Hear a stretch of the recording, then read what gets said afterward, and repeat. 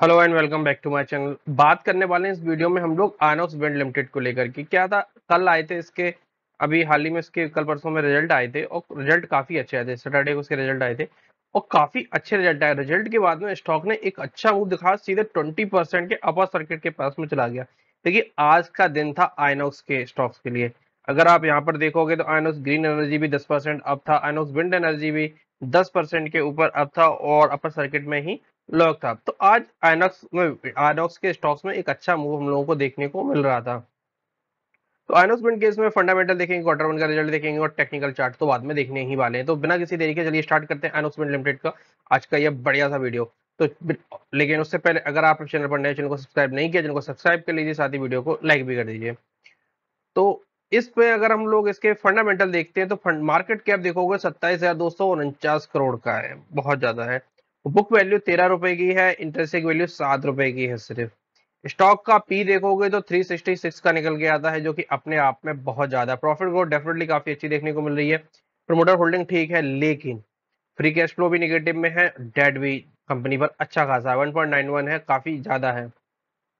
तो फंडामेंटली देखी जाए तो कंपनी उतनी बेटर नहीं है, क्योंकि ओवर वैल्यूशन काफ़ी वैल्यूएशन काफ़ी हाई है, बहुत ज़्यादा हाई देखने को मिलती है। लेकिन क्वार्टर वन के अगर हम लोग रिज़ल्ट देखेंगे तो तीन सौ उनचास करोड़ से बढ़कर छह सौ उनतालीस करोड़ तक का सेल्स देखने को मिल रही है। प्रॉफिट भी काफ़ी माइनस सिक्सटी फाइव करोड़ से लेकर के प्लस फिफ्टी करोड़ तक पहुँच गया है, जो कि अपने आप में काफ़ी अच्छी चीज़ है। अब देखो सिर्फ़ इकतीस करोड़ का ऑपरेटिंग प्रॉफिट था मार्जिन भी सिर्फ़ नौ परसेंट के थे 136 करोड़ का हो गया। और यहाँ पे इंपॉर्टेंट क्या है? इंटरेस्ट 70 करोड़ का पहले इंटरेस्ट को चुका थी, अब सिर्फ़ 58 करोड़ का। तो देखा जाए तो कंपनी ने अपने डेट पर भी काम किया है। डेट पर काम तो किया है। वहीं अगर बैलेंस शीट भी देखोगे तो 1410 से 1371 तक हो गई थी।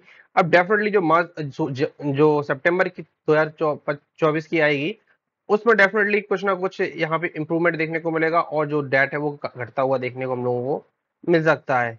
शेयर होल्डिंग पैटर्न में देखेंगे तो यहाँ पे जो प्रमोटर्स हैं उन्होंने अपने स्टेक को बेचा है और स्टेक किसने खरीदा है? स्टेक एफआईआई ने खरीदा है डीआई ने बिल्कुल भी नहीं खरीदा है और बाकी रेस्ट ऑफ़ अमाउंट पब्लिक के पास भी गया है। तो ये एक मुझे अर्ली साइन लग रहा है कि यहाँ पे थोड़ी सी प्रॉफिट बुकिंग का टाइम आ, आ सकता है इसमें।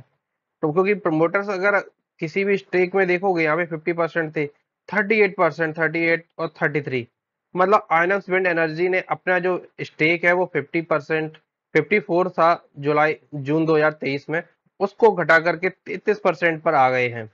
तो something is cooking in the in stock तो ये सारी चीज़ें हैं। चलिए ये तो होगा फंडामेंटल अब देख लेते हैं टेक्निकल पे। टेक्निकल भी देखोगे तो स्टॉक बहुत शानदार दिख रहा है। स्प्लिट होने के बाद में स्प्लिट हुआ था यहाँ पे, एक के बदले क्या हुआ था? एक के बदले चार चार शेयर पे एक शेयर मिला था। एक पे चार शेयर मिला था। ये सारी चीज़ें थी। स्टॉक का प्राइस डेफिनेटली रिड्यूस हुआ है। और यहाँ पे देखोगे तो बिल्कुल एक चैनल में ट्रेड काम कर रहा था। यहाँ पे बिल्कुल सपोर्ट एक बनाया हुआ था अप ट्रेंड था। काफ़ी अच्छा था। अब जाकर के इसमें ब्रेकआउट आया और ब्रेकआउट भी देखोगे वॉल्यूम देखोगे 92 मिलियन के वॉल्यूम से यहाँ पर देखने को मिल रहे हैं। 20 परसेंट के अपर सर्किट में स्टॉक है। और अब यहाँ से क्या, देखिए स्टॉक इन्वेस्टमेंट के लिए नहीं है ये स्टॉक सिर्फ़ ये स्टॉक अब बचा है ट्रेडिंग के लिए। अगर आप बहुत बड़ा इन्वेस्टमेंट यहाँ पे इन लेवलों पे करना की कोशिश में है तो बिल्कुल भी बचना चाहिए। क्योंकि स्टॉक शार्पली करेक्ट होगा और लगभग लगभग एक बार तो ये लेवल ज़रूर दिखाएगा अभी। एक सौ रुपए का बहुत स्ट्रॉन्ग सपोर्ट रहने वाला है।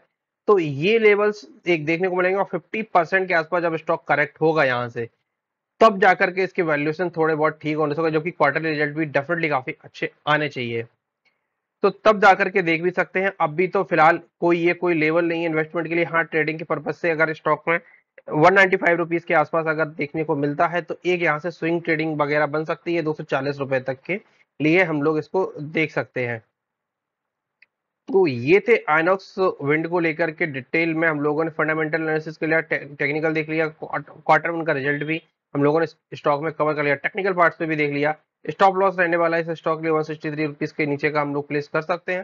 तो ये थे आइनॉक्स को लेकर के। अगर अगर आप इस स्टॉक में इन्वेस्ट करना चाहते हैं तो अपनी रिसर्च भी करिए और अपने फाइनेंशियल एडवाइजर के साथ डिस्कस भी ज़रूर करिएगा। तो मिलते हैं अगले वीडियोस में तब तक के लिए धन्यवाद।